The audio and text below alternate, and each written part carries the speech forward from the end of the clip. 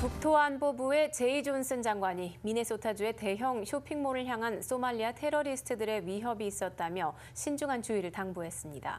보도에 김하늘 기자입니다. 제이 존슨 국토안보부 장관이 미네소타주의 몰 오브 아메리카라는 대형 쇼핑몰 이용객들에게 테러에 대한 주의를 당부했습니다.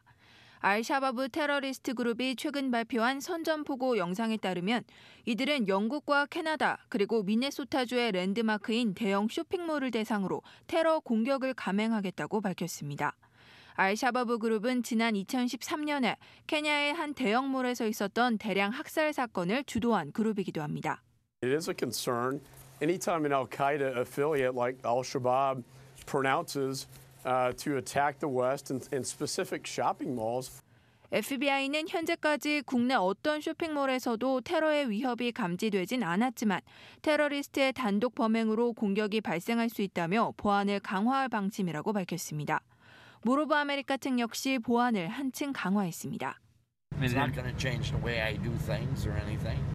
LA 경찰국도 LA의 대형 쇼핑몰에 대한 위협은 없지만 국내에서 자생된 테러리스트 일명 lone wolf에 의한 테러 가능성은 항상 염두에 두고 있다며 쇼핑객들은 조금이라도 수상한 점이 목격되면 즉시 경찰에 신고해 줄 것을 당부했습니다.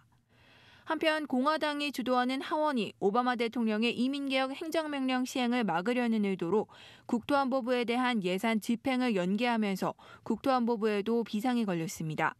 국토안보부는 이번 주 금요일까지 현재 부서에 배당된 예산이 모두 소진될 것이라며 하원의 예산안 통과를 요구했습니다. From now, more than 100,000 DHS employees, Border Patrol, port inspectors, TSA agents will show up to work without getting paid. 만약 국토안보부의 예산이 바닥난다면 신청자의 수수료로 운영되는 이민국의 비자 업무 등은 큰 문제 없이 진행되겠지만 고용인들의 전자 신분 확인 절차는 중단될 수밖에 없는 상황입니다.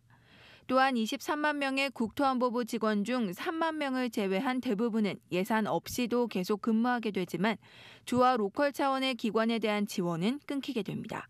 LAA 팀 프라임 뉴스 김하늘입니다.